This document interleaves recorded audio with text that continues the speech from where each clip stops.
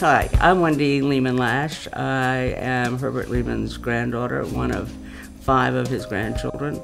He, my grandfather, had nothing to lose. I remember going, I was five or six, going to watch my grandfather in the chambers argue with Senator McCarthy. He knew how to get people to move from one side of the aisle to the other and how to press his point of view and agree with somebody else's point of view. And he was always thinking of the other person and not himself. He felt very strongly that every person had the right to a good life, to a roof over their heads, to a meal in their stomach, and to be able to vote for whom they wanted to, and to live where they would like to live.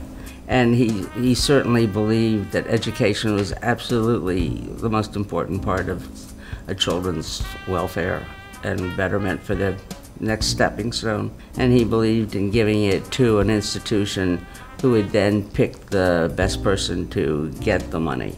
Oh, he certainly would think that this college bearing his name would be fabulous.